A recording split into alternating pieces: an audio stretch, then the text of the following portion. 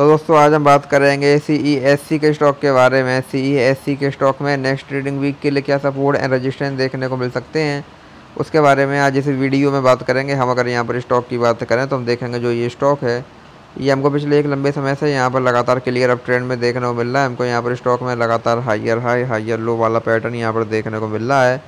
हमको यहाँ पर स्टॉक में बीच बीच में यहाँ पर गिरावट भी देखने को मिली, लेकिन यहाँ पर स्टॉक ने कभी भी अपने प्रीवियस लो को यहाँ ब्रेक नहीं किया। और हमको यहाँ पर स्टॉक में लगातार तेज़ी ही देखने को मिली है। आज भी हमको यहाँ पर स्टॉक में 2.91 परसेंट की यहाँ पर तेज़ी देखने को मिली है।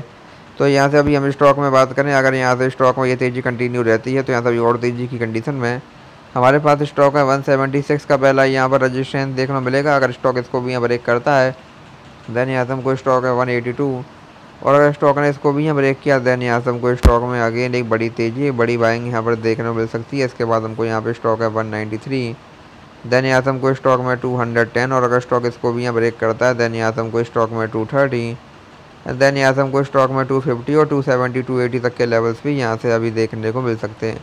वही यहाँ से अब अगर स्टॉक में गिरावट आती है तो यहाँ से गिरावट की कंडीशन में हमारे पास स्टॉक है 167 का पहला यहाँ पर सपोर्ट देखने को मिलेगा।